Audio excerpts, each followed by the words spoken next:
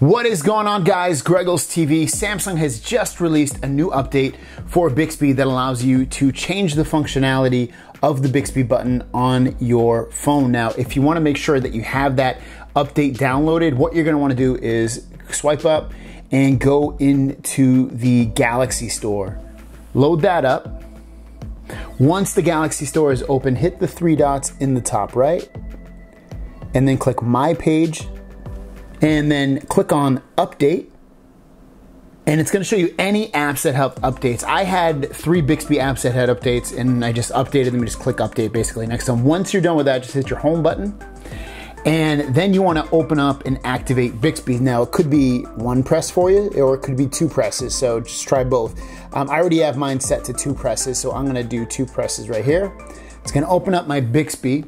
Then what I'm going to do is click the three dots in the top right then I'm gonna click on settings. And then here in settings, this is where you're gonna see the new functionality for the Bixby button. So you'll see Bixby key, tap on that. And now you can do Bixby a couple of ways now, or a couple of things you can do with Bixby now. So you can see single press to open Bixby. If I press that, I can choose a functionality for double press. So I can do select an app or a quick command.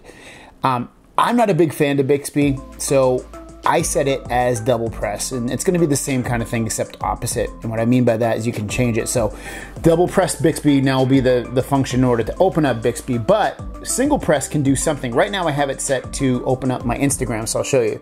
Press it once, it opens up Instagram automatically. Let's go back in here. You can also change it, just click on it, and you can open up an app. So you can tap on this little gear to the right, and when you open that up, it's going to open up all your apps that you can choose from. So maybe you want it to open up your banking app or your camera or whatever app that you want it to open, it will open it up for you.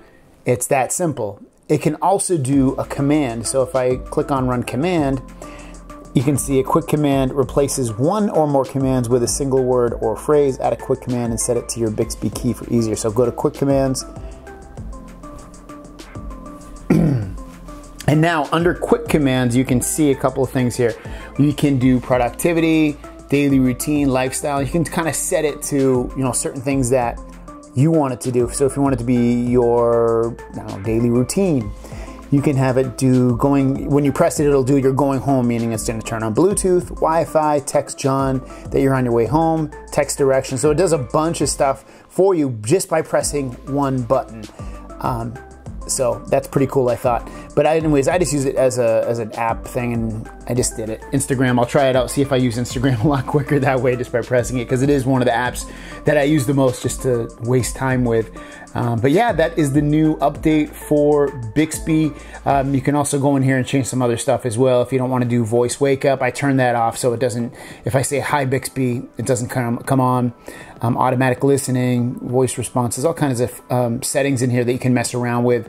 I turn off marketing notifications because I don't want to get notifications on stuff that I don't really care about. But that is the update right there for you guys. Hopefully that helped you out with customizing and managing your phone a little bit better and easier. Thanks for watching. We'll see you down the road.